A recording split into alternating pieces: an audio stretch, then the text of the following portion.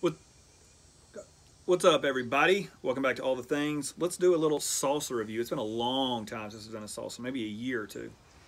Um, anyway, this comes a as a recommendation from my buddy Sean, uh, Mateo's Gourmet Salsa.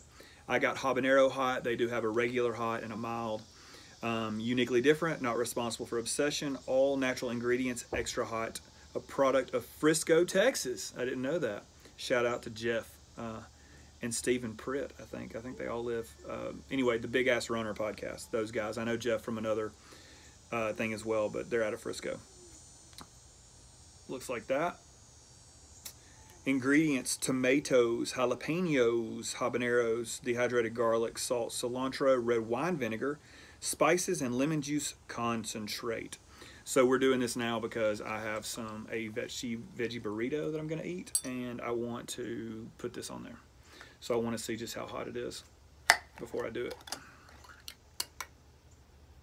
Oh, it smells amazing. A ton of garlic, Nice tomato, jalapeno, habaneros coming through as well. So much garlic though. It smells amazing. Uh, we're gonna do, this is just a normal household spoon. We're gonna do a spoonful. Um, it is chunky, so that's that's my style. I like that. Lots of seeds, uh, lots of pepper in there. I see some tomatoes, obviously. Let's do it. Chewy, thick, Great flavor though. Oh my goodness. That is fantastic. Heat is creeping, but I can go ahead and tell you it's not um, not pain level heat. Very, very flavorful. A ton of garlic, the lime, the cilantro, everything you can taste it all. Nice chunky pieces of pepper and tomatoes. Little pieces of garlic.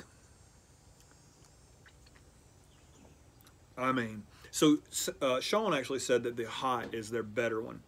Um, but what what fun is it to review something that just says it's hot? You know, you want to do the habanero, the extra hot, whatever. But this smothered on some chips would be fantastic for nachos.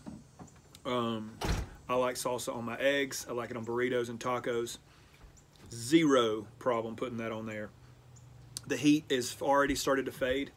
So I would say on the heat scale, as far as hot sauces and peppers go, I'd put this down there at a three or four maybe.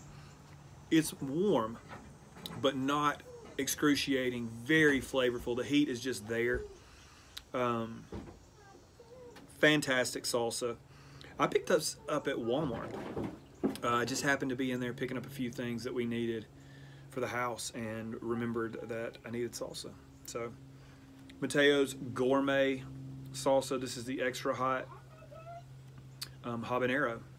Y'all check it out. Until next time, y'all. Peace.